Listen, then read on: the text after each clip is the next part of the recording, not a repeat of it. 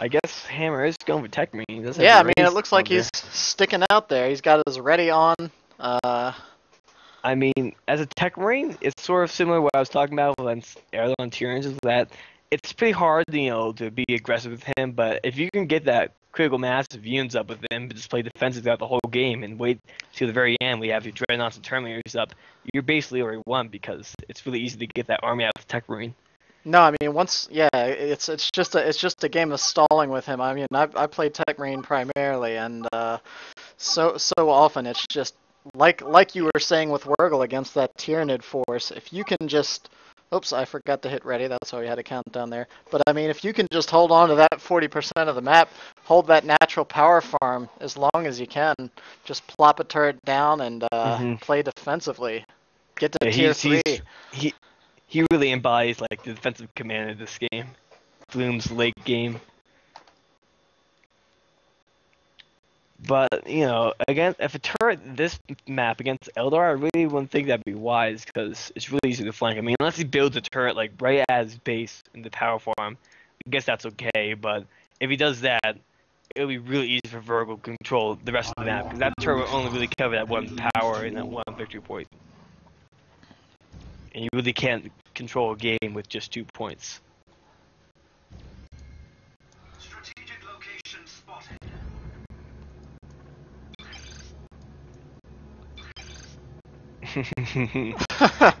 What do you require? Hammer Our swords are keen. is probably least renowned for his manners. yeah. I mean, I'll admit I have some rage moments against some units, but I try to keep it civil in tournaments. no, I mean, if you drop, if someone drops the have fun, just drop the have fun. I mean, Yeah. no reason not to. But All right. Well, pretty tense matchup. It's the finals. Let's see. no, it's it's it's the finals, and uh, Wurgl and Hammer have already faced off several times in the in uh, this tournament, and uh, you know, in the past few tournaments recently. So. walk in the witch path. Yeah. So we see pretty standard opening by Hammer. You know, double scout, one tactical. Uh, the scouts uh, won't do so much as kill units, rather than stall them and try like scout. Well, yeah, scout and uh, have some map control going on. The only way to really do stuff is if to get upgrades in.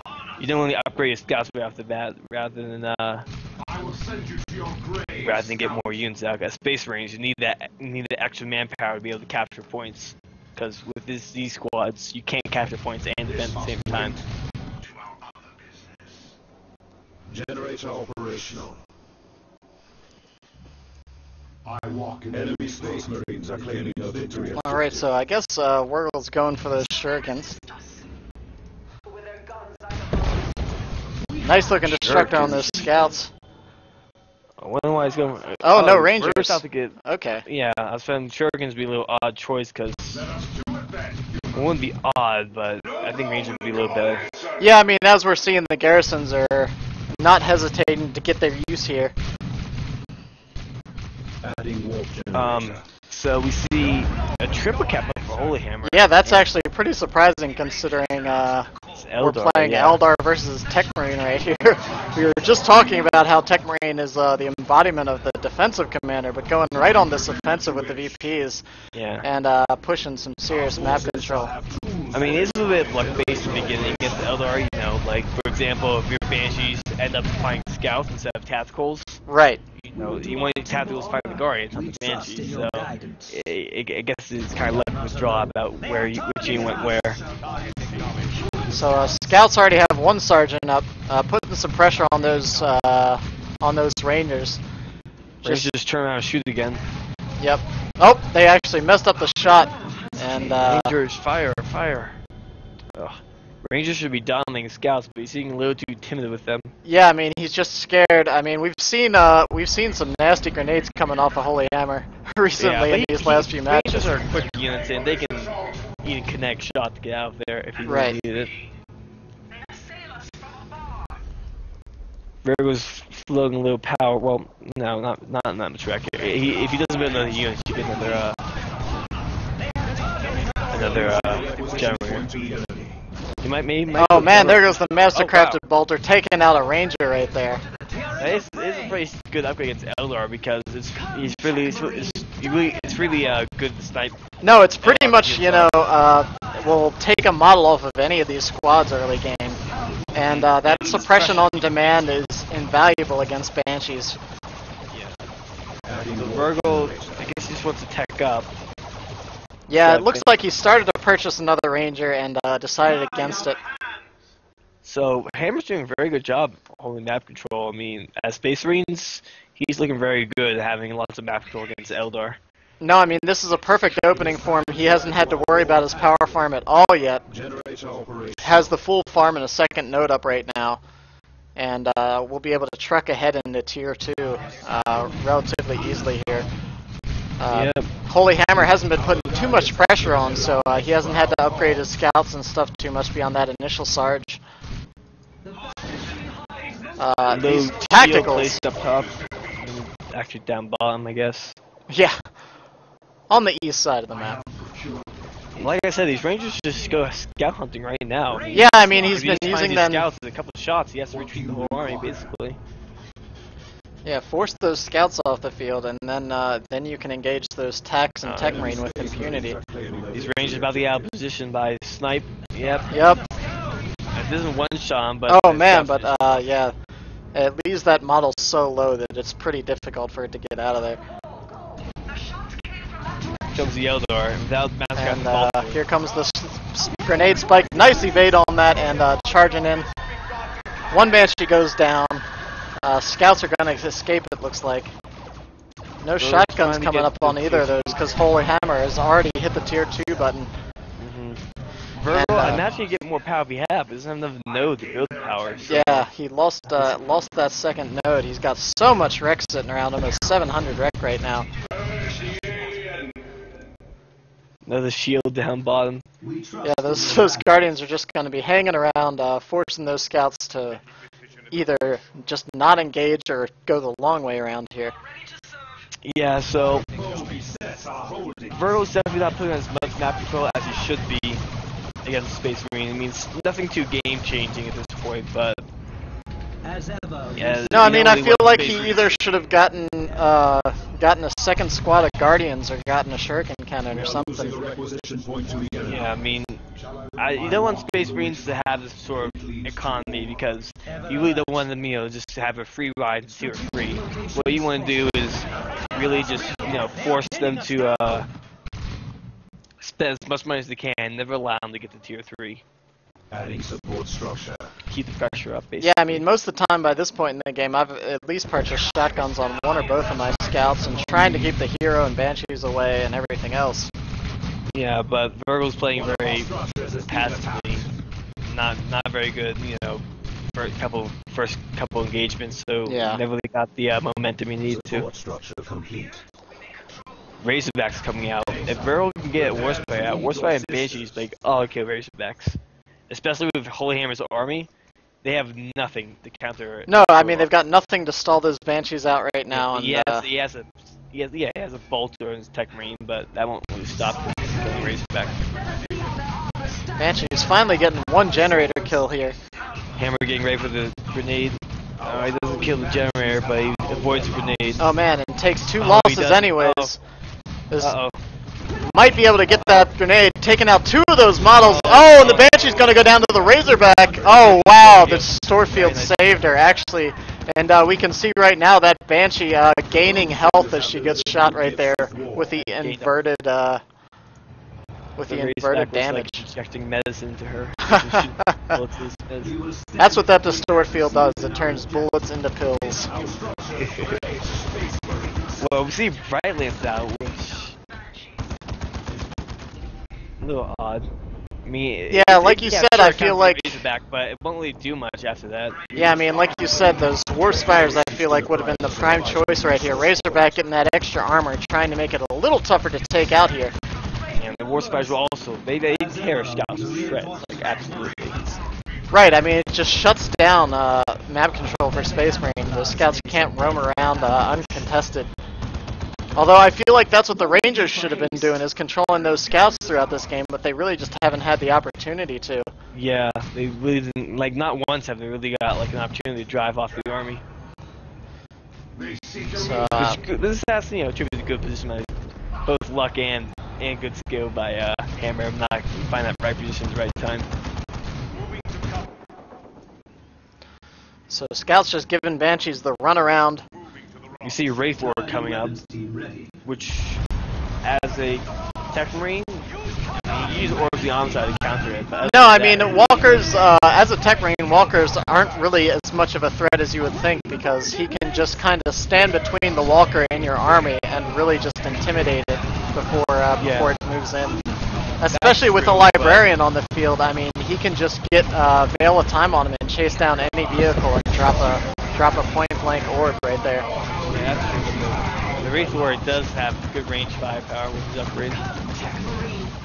Oh, the Razorback. Razorback getting a little brazen there, but uh, that librarian's going to be able to shut down that range fire and uh, actually take out a couple of models as well. Ever alert. Wraith Lord's up, and it, basically his only counter would be missile launcher attacks. Unless he wants to get tier 3, which he's supposed Yeah, to. I mean, 89 Wurgl- power by him, actually. He did get a second gem for him. Yeah, I mean, he can go tier 3 and get a Predator before long. He's got plenty of reg, uh, huge power income, and uh, he can probably just stall out here and wait to get that tank on the field. Yeah, I mean, this this is like the position want to be in space range, you know. Even if he didn't have this much victory points, even the victory points are swapped right now. He'd I still be in good position because of how much resources he has going into tier three.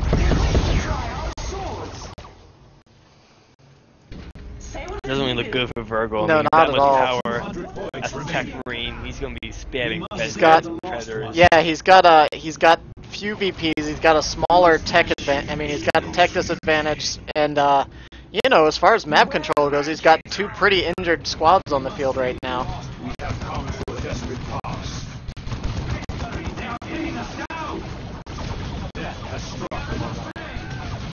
it can be very disheartening to uh as a like Eldar player or any race, you know, to see this like just calling after calling after Benred, Terminators and Predators.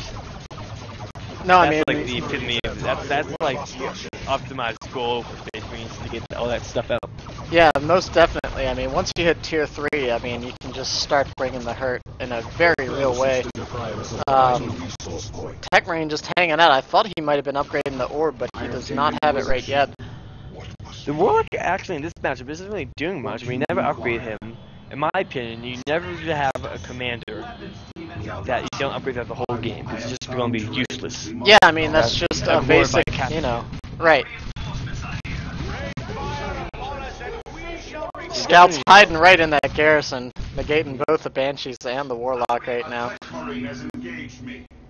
Another wave war coming out, but Predator basically want to cancel all of them. Yeah, I mean, Wurgl needs to have. I mean, as you said, I mean, buying that Bright Lance instead of those Warp Spiders, I think really, uh, really just didn't work out at all. It hasn't put Yeah. any pressure on that Razorback really at all. The Razorback's just been engaging it time and time again without much And issue. with, and with the unconscious he had with the Banshee Ranger, which is an incredibly defensive position, whereas more spiders just go in, teleport, and start, you know, being offensive and trying Right. to kill stuff. Rather than try and let Holy Hammer mess up and come to you. Which, you know, it, at play like Holy Hammer, it's pretty hard for him to get caught in just run in and let him die.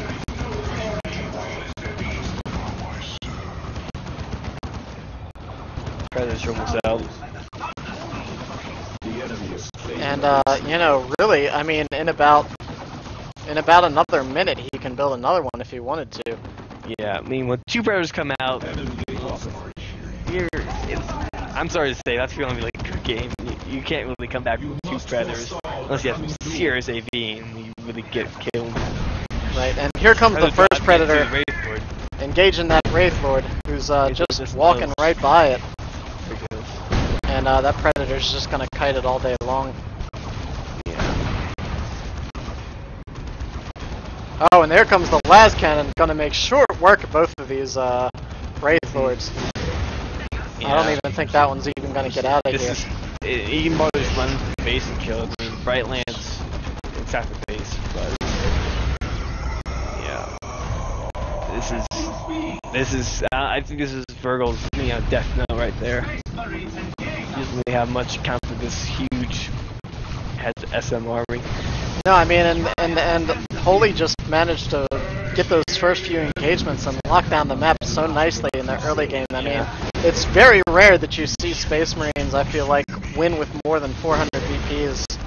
Yeah, I mean, Oh, here comes the mark target on that he Wraith didn't boy. do what to do. Mark target here with the Predator and takes like Yeah. damn shot. It's dead.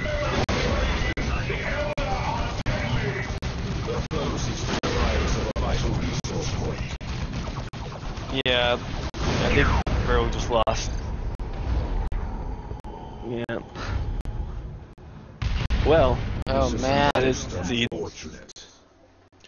so yeah, in that, that game, Wurgl just never got like the momentum he needed to. No, I mean so- normally you see Eldar just uh, just running all over the place and uh, giving giving Mhm. Space Marines the runaround, and he just really never did that.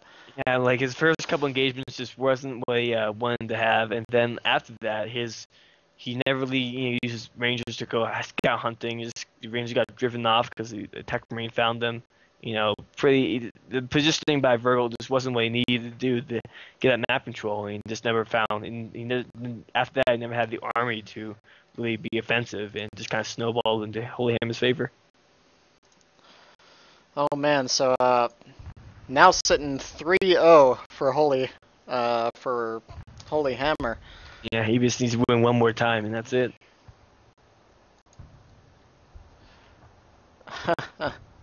Wurgl's a little bit complaining Yeah. and it's uh, uncontrollable Wraith Warrior. I never really experienced that bug. I don't know why pe- people do, but even if it was, I mean, he was pretty much done in that game.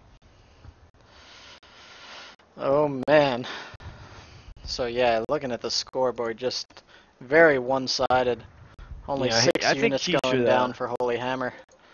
If he wants to play Eldar, should really switch commanders. Warlock is just not very effective against Space Marines. I mean, you can get his Merciless Witchblade upgrade and like his Champion's Robe of Darkness, but that's very expensive. And even Yeah. then, he's not the greatest. I mean, he's great for dealing with assaults, but uh. Uh, War. Spire should be much better at finding scouts and dealing with them and controlling map and Farseer. Just she's really dominant with Space Marines with her war gear upgrades and Ghost Helm and such. Yeah, I mean that's that's uh, when I'm fighting Eldar. That's always like what I dread to see is seeing the Farseer, Autark, and Banshees running around. It's just such such a brutal combination. Yeah, but you know, with with, with Wurgl's composition, he really he really didn't have any units to support his Banshees. Just like Banshees alone aren't enough to get in with the Tech Marine and tacticals.